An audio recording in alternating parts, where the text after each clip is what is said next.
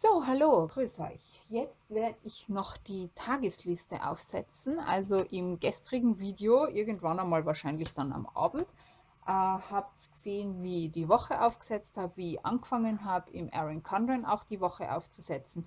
Und jetzt geht es aber darum, dass ich mich mit dem heutigen Tag beschäftige. Auch das werde ich wieder im Hobo und im Aaron Condren machen. Äh, den Wellnessplaner habe ich für heute auf jeden Fall noch außen vor gelassen. Werden wir schauen, ob ich ihn dann morgen äh, mit reinnehme. Äh, als allererstes werde ich mir auf jeden Fall einmal den, den Erin Conran vornehmen und dann habe ich ja eben auch hier eine Liste von Dingen, die ich auf jeden Fall auch machen möchte. Ähm, daher ja, starten wir mal damit. Und wie gesagt, ich werde dann in der Box unten verlinken, Zeitstempel. Jetzt haben wir also Erin Condren und dass dann der Zeitstempel für ein Hobonichi dann auch noch unten drinnen ist, falls ihr am Erin Condren überhaupt nicht interessiert seid. Gut, dann tue ich die Sachen mal auf die Seite, weil das ist definitiv dann für ein Hobo. Für ein Erin Condren brauche ich jetzt nichts anderes als diesen hier und diesen hier. Mehr brauche ich da nicht. Und dann schauen wir uns das jetzt einmal kurz an. Also, gut, so schaut das Ganze also jetzt im Aaron Conran aus. Ich tue jetzt einmal das da raus, wobei das eigentlich nicht notwendig ist, weil ich ja eigentlich die Seiten rausnehmen werde. Wir sind jetzt hier am Mittwoch. Ihr seht, ich habe dann auf jeden Fall noch den ganzen Nachmittag frei. Äh, bis um 12 habe ich jetzt einmal geplant, mich mit dem zu beschäftigen, ähm, was auch definitiv der Fall sein wird. Wahrscheinlich werde ich länger brauchen. Ähm, das ist wieder mal so ganz klassisch, dass ich ja mir immer, wie immer, noch ein bisschen schwer tue mit dem Einschätzen von, wie lange dauert etwas. Ja? Aber sagen wir mal, ich gebe mir dann locker noch eine Stunde Spazizeit. Vor allem deswegen, weil ich ja da nicht wirklich berücksichtigt habe, dass ich ja das Video jetzt auch noch drehen muss. Ja? So es aus. Ja, kleine Maus, ich weiß.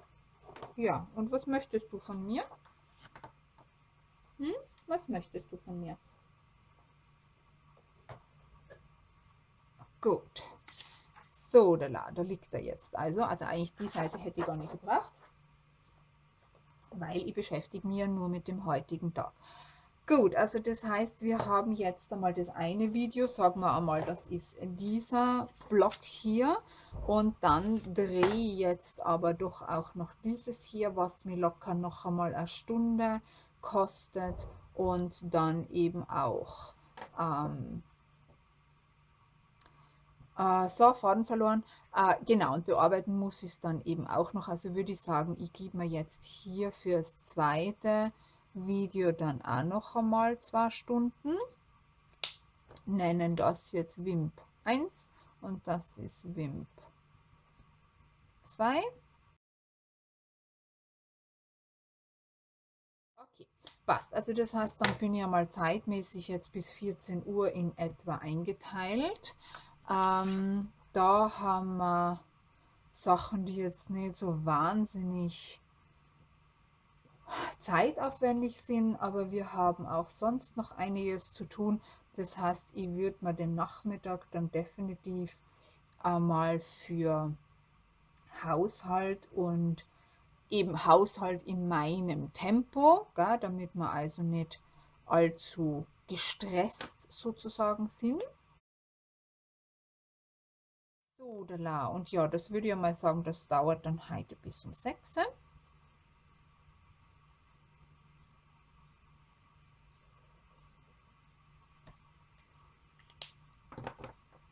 Weil es ist ja, wenn ich jetzt einmal, war jetzt seit Freitag nicht mehr da, ähm, dementsprechend ist natürlich ganz viel Katzenzeug äh, zu machen. Also das heißt Katzen, Pflanzen, äh, Dailies.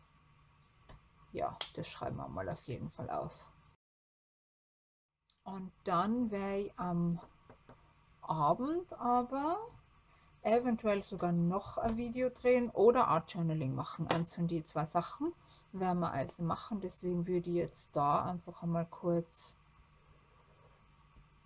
zwar so Striche hinmachen. Und Und zwar habe ich ja fürs Art Journaling ein paar Sachen bestellt und dementsprechend würde ich das heute schon auch gern zumindest einmal ausprobieren. Gell? Gut, dann äh, bin ich jetzt da, machen wir einfach noch ein etc.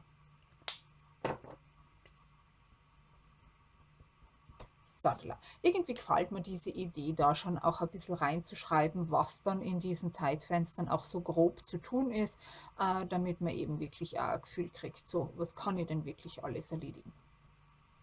Jo, ähm, so schaut es dann also aus, wenn ich jetzt den heutigen Tag mir vorgenommen habe. Ich glaube, dass ich das beibehalten werde, auch wenn ich dann wieder arbeite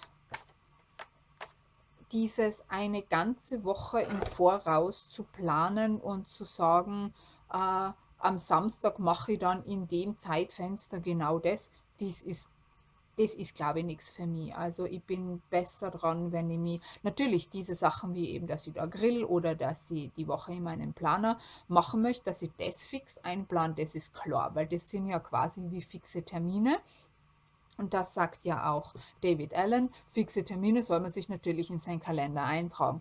Aber wenn es dann um To-Dos geht, das kann man dann erst am aktuellen Tag sagen. Außer man hat natürlich eine Deadline. Ja? Also wenn ich bestimmte Dinge äh, jetzt am Samstag fertig haben muss, dann muss ich natürlich auch schauen, so wie kann ich das jetzt in der Woche dann unterbringen. Aber dann sind diese Dinge ja auch wieder Termine. Also das heißt, wenn ich jetzt, sagen wir mal, da ähm, ein bestimmtes Projekt fertig haben muss und dafür sind noch so und so viele Sachen zu tun, dann muss ich natürlich schauen, dass ich mir für jeden Tag quasi einen fixen Termin setze, wo ich an dem Ding arbeite. Aber das ist ja dann auch quasi wie ein Besprechungstermin oder wie ein Friseurtermin, da muss ich ja auch fix dort sein. Ja? Aber wie gesagt, wenn es einmal nur so beiläufig darum geht, dann kann ich mich ja erst am Tag beschäftigen. Gut, ja, also das ist einmal jetzt eben das. Und äh, damit sehe ich aber auch, dass sich heute das sicher alles ausgeht, was ich mir so vornehmen will. Die Geschichte ist, ob ich es dann auch wirklich tue. Also wie gesagt, ob ich dieses dritte Video dann heute auch noch drehe, das wird sich definitiv weisen. Es wird nicht sehr lang sein. Aber ich habe euch im letzten Video, also gestern, ja erzählt, dass ich aus Innsbruck noch was mitgebracht habe und dass ich euch das in einem extrigen Video zeigen will. Und das wäre dieses hier. Gut, dann haben wir das. Dann komme ich in den Hobo. Also nochmal, bin gespannt, ob ihr auf mein gestriges Video geantwortet habt, was ich daher tun soll. Solltet ihr da noch nichts geschrieben haben, bitte immer noch leer. Ähm, klar, jetzt sowieso, weil es ja schließlich erst eine Viertelstunde später ist. Aber ja, sonst werden wir sehen, ob sich eventuell schon was getan hat. Gut, wir starten dann hier auf einer neuen Seite und ich habe mir jetzt ein paar Sachen rausgelegt. Übrigens jetzt im Sommer, in meinem Urlaub, verwende ich meine wiederverwendbare tägliche To-Do-Liste nicht. Bin mir auch nicht sicher, ob ich sie in Zukunft weiter verwenden werde, weil sich einfach dann doch zeigt, dass ich gewisse Sachen dann nicht mache. Und das ist nicht gut. Gut, was habe ich mir herausgelegt, um jetzt hier diese Doppelseite zu gestalten? Einerseits dieses Washi, das ist eines meiner Lieblingswashis von MT. Dann ähm, diese ganz normalen Sticker-Dinger mit den Wochentagen. Und dann einfach ein paar Ausschnitte aus der Flow, die jetzt von der Größe so halbwegs da reinpassen. Und irgendetwas davon würde ich dann, jetzt habe ich das natürlich gut da unten hingelegt, wo man es dann nicht sieht. ja, also einfach mehrere Ausschnitte von der Flow, wo ich das Gefühl habe, dass sie ganz gut in diese Woche passen. Das Washi passt dann eben dazu. Und ähm, was ich aber machen möchte, äh, wenn ich nicht direkt vor der Kamera plan, dann mache ich das eigentlich so, dass ich diese Doppelseite mehr oder minder schon aufsetze und dann nur noch Tag für Tag ein bisschen was dazu hinfüge. Ähm, jetzt möchte ich das mit euch so machen, dass wir wirklich da anfangen, so ganz klassisch im Bullet Journal Style und dass wir es einfach entwickeln lassen, bis wir dann da sind und schauen, wie sich das Ganze dann am Ende eben entwickelt hat. Und äh, da möchte ich jetzt einmal als allererstes mir da einmal ein Waschi herkleben. Ich glaube, meine Katzen streiten schon wieder. So, und da sind wir jetzt eben wieder bei dem Thema. Der ist schon so fett, dass man nicht einmal mehr gescheit auch da das Waschi abschneiden kann. Deswegen ist das ein bisschen so eine... Na, ach, ja, also ein ganz ein gerader Schnitt wird das nicht, aber das ist mir ehrlich gesagt gar wurscht. Es ist auch sonst nicht gerade, was mir eigentlich auch wurscht ist. Aber wenn dann da ein Haar dran klebt, mag ich das wieder nicht.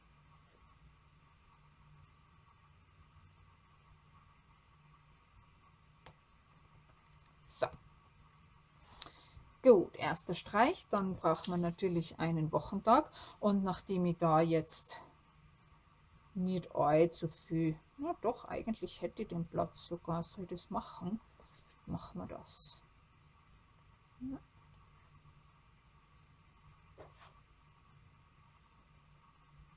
glaube, jetzt muss ich schauen gehen, was die Katzen anstellen.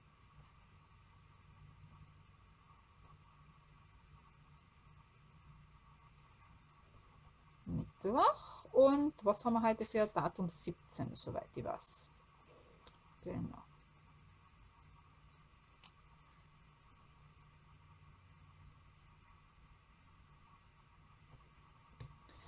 Gut, soweit, so gut. Jetzt gehe ich mal geschwind schauen, was die Katzen anstellen und dann geht's weiter. Liegen völlig unschuldig auf der Terrasse, also wie wenn nie was gewesen wäre, außer dass vom Kater die Fellbüschel auf der ganzen Terrasse, Terrasse verteilt sind. Ja, so sind sie, gell? Liebhaben, Fehlanzeige. Na, sie haben sich eigentlich sehr gern. Gut, Thema ist, heute will ich definitiv dieses hier verwenden, weil nämlich äh, auch auf meinem äh, To-Do sozusagen steht, mich mit einem Bewegungsplan zu beschäftigen. Äh, einerseits habe ich halt einfach die Erfahrung, dass es gut ist, wenn ich jeden Tag, jeden Tag was mache. Einfach weil ich dann in diesem Rhythmus drinnen bin und dann funktioniert das einfach besser, als wenn ich mal sage, ich mache am Dienstag und am Donnerstag und am Sonntag was, weil dann gibt es immer einen Grund, warum nicht. Und vor allem äh, geht es ja dann auch darum, dass ich sage, ja, aber den Dienstag geht es nicht, dann fällt es wieder aus und äh, mag ich überhaupt nicht. Aber irgendwie muss ich mich trotzdem davon lösen, weil ich kann es nun mal nicht jeden Tag machen, weil ich halt manchmal äh, in der Früh schon arbeiten muss und das mag ich halt überhaupt nicht, wenn ich dann äh, in einen Stress gerate. Und deswegen würde ich mich da dann natürlich nicht bewegen, ist eh klar. Und dann bin ich aber wieder draußen aus dem Rhythmus und so gesehen muss ich jetzt irgendwie was finden, womit ich flexibel umgehen kann. Oder was finden, wo ich sagen kann, okay, das dauert nur fünf Minuten. Ich meine, habe ich ja wohl, gell? ich habe so eine Stange, die eben mit Gummi funktioniert für leichtes Krafttraining. Und äh, das dauert nur fünf Minuten, wenn ich will, gell? weil tue ich halt nur eine Muskelgruppe trainieren. Wäre auch schon okay. Ja, also irgendwie so in diese Richtung muss ich denken, anfangen. Weil ich bin irgendwie jetzt gerade furchtbar motiviert. Klar, ich bin im Urlaub, gell? da kann ich motivierter sein. So, die. Und dann schneiden wir die heute jetzt einmal aus und schauen, wo sie hinpasst. Und dann werden wir um sie herum unsere To-Do-Listen schreiben. Das ist ja das Klasse, wenn man eben mit dem System so arbeitet, dass man eben sich so viel Platz lässt, wie man braucht, dann kann ich natürlich die Deko auch zuerst hinkleben und muss nicht dann noch schauen, wo noch Platz ist. Gut, wo klebe ich die jetzt hin? Einerseits wäre es cool, wenn sie in irgendeiner Form da wäre. Andererseits da sie mir aber da fast besser gefallen. Man, sie schwebt sowieso in der Luft. Gell? Das ist natürlich etwas, was ich vielleicht vorher bedenken hätte sollen. Habe allerdings auch hier noch Washi. Könnt sie natürlich auf einen gelben Boden stellen. Oder ich könnte sie auf einen grauen Boden stellen. Was haben wir denn noch?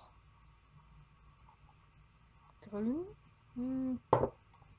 Wie wird das grün sich?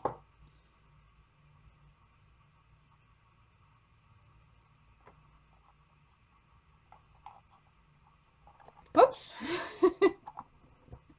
ja. Irgendwie muss ich sagen, finde ich das Grün fast am süßesten. Und dann stelle ich sie mir auf die Seite. Oder? Ist das Grün auch gut? Nein. Nein.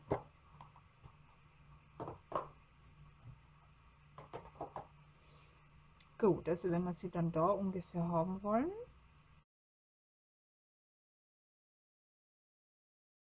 das, was mir an diesen Sticks immer so stört, ist, dass es dann da in der Mitte immer diesen Muggel gibt, mit dem ich nie weiß, wie ich umgehen soll.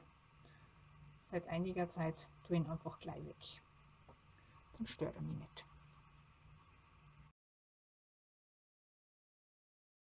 So, das gefällt mir. Und dann schreiben wir uns unsere To-Do-Liste auf. Einerseits natürlich die Dailies, die wir heute machen wollen. Wo habe ich denn das Büchel hin? Da ist das Büchel hin.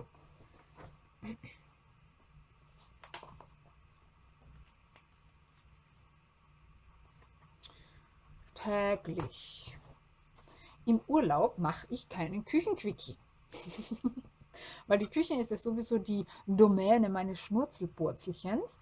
Und nein, das mache ich dann nicht. So, aber heute machen wir Wasser plus.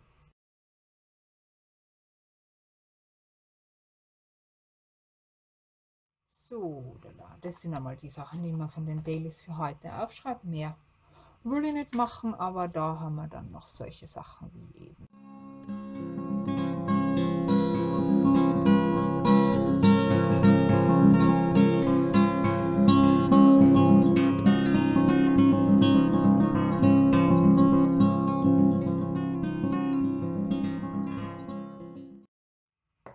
Wir mal ganz kurz, weil auf der Tagesliste stehen nämlich auch noch ein paar Sachen. ja, meine, die meisten Sachen, die da drauf stehen, die dauern jetzt nicht wahnsinnig lang. Also so gesehen äh, sehe ich das jetzt nicht so als Problem. Nichtsdestotrotz, alles werde ich dann vermutlich doch nicht schaffen. Gell? Äh, das mit dem Wellness Journal habe ich jetzt quasi schon rübergetan. Pflanzen gießen plus Gut, diese Sachen werden wir dann alle heute eher nicht machen, außer das mit der Anita. Das habe ich ihr versprochen, dass ich sie möglichst bald auf Moodle freischalte. Das ist dann also die Liste für heute. Äh, sind wir gespannt, was ich davon alles, das mit 9 Uhr Saturn habe ich schon übertragen. Genau. Dann sind wir also gespannt, wie die Liste tatsächlich morgen ausschauen wird, wenn ich dann wiederkomme zum Tag 2. Ja, jetzt habe ich euch nicht wahnsinnig viel was erzählt, weil ich irgendwie in dem Video davor schon so viel geredet habe. Schauen wir mal, ob ich morgen wieder was zum Erzählen habe.